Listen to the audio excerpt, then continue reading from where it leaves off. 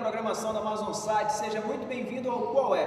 Programa voltado ao universo dos estudantes, onde a gente vem até as escolas, reúne um grupo de alunos e traz algum tema para a gente debater com esses jovens. Hoje nós estamos aqui na Escola Estadual Ângelo Ramazotti, vamos conversar com os alunos do terceiro ano sobre o Dia da Consciência Negra, que vai acontecer agora no dia 20 de novembro. E aqui na escola é, é realizado um projeto super legal sobre esse Dia da Consciência Negra, que é o projeto Mama África. Para começar o programa, eu queria que você, queria que alguém explicasse o que é esse projeto Mama África. Quem que já participa do projeto há algum, te, há algum tempo pode explicar. Para esse lado aqui nós temos alunos que já participam há muito tempo. O que é o projeto Mama África? Bem, é um projeto que é realizado todo ano no mês de novembro na escola e que traz um pouco da cultura africana e apresenta ao público é, basicamente Todo ano é um tema diferente. Ano passado foi o a gente homenageou o Luiz Gonzaga, o centenário, e cada ano vai mudando. Eu não sei o tema desse ano ainda, mas é, é importante porque no primeiro ano, por exemplo, é, eles é, fizeram sobre comidas típicas da África e eu acabei descobrindo que o vatapá é uma comida típica da África e eu não sabia. Assim como outras comidas também que são muito interessantes, são muito conhecidas, que eu acredito também que muita gente não sabe que é da África, entendeu? Alguém sabe qual que é o tema deste ano? Tipo, é, para os terceiros anos são danças típicas é, africanas. É, cada ano tem é, seu tema diferente, para não ficar muito repetitivo. Mas esse ano a gente vai apresentar algumas danças que vêm de descendência africana. Só isso. Quem está participando pela primeira vez esse ano?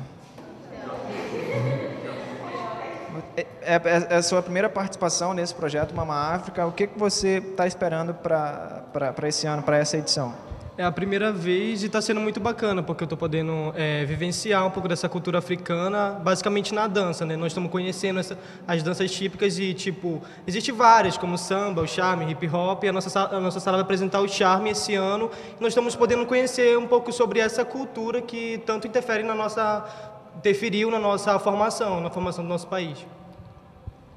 Que, que vocês acham dos principais objetivos assim desse projeto? É meio, é, ele apresenta a cultura negra, a cultura africana para vocês, mas também tem um lado que ele traz da, com essa valorização para por causa do preconceito, né, com, com os negros. O que, que vocês acham em relação a isso?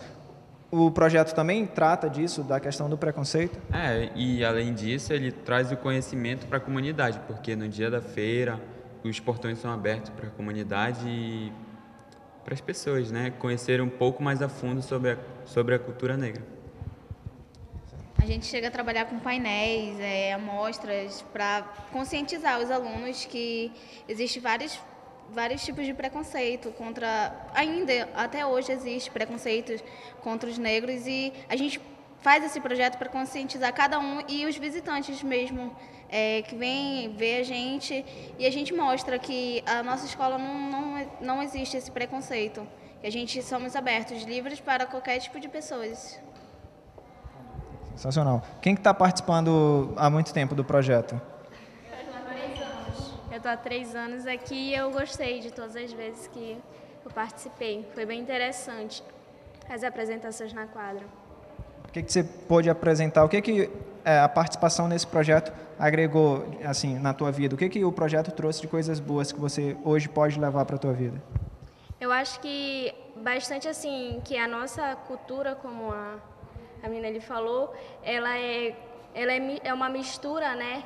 E como vieram muitos negros e a gente vê que na nossa vida a gente vivencia coisas dos negros, entendeu?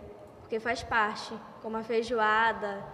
Além da vocês estão falando bastante do lado da, da, alimentação, vocês uma parte da cultura que vocês aprendem bastante é sobre a dança, né? Inclusive aqui na escola está acontecendo já ensaios, vocês aprendem os ritmos da, que, que vêm da África, que vieram da África.